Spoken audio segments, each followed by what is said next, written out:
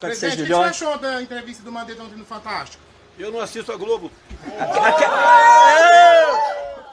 Eu não vou perder tempo da minha vida assistindo a TV Globo agora.